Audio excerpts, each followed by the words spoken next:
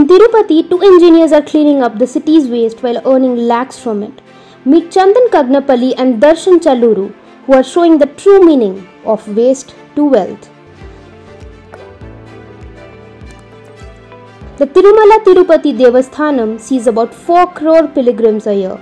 The collective waste generated from the massive population amounts to about 40,000 kg per day.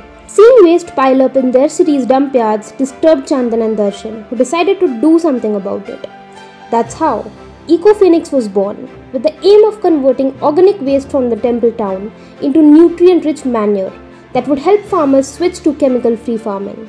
The duo proposed this idea to the civic commissioner, got the go ahead, and set up two units one for recycling and the other for processing. These units treat the waste in three different ways. The first method is traditional vermicomposting that creates manure in about 40 days.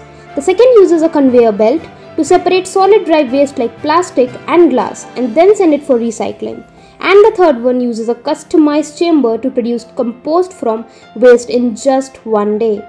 But all this would have been in vain if farmers refused to use the compost they were making. And that is what happened when Chandan and Darshan first approached farmers in the region.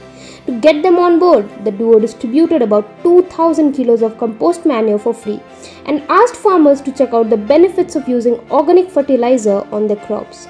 Today, a thousand of these farmers have turned into their customers. They buy the compost at just rupees 4 per kilo.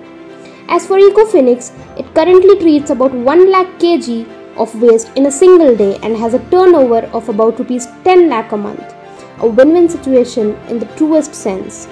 Chandan and Darshan now hope to take this model to other cities and states. Would you like to see this solution being implemented in your city?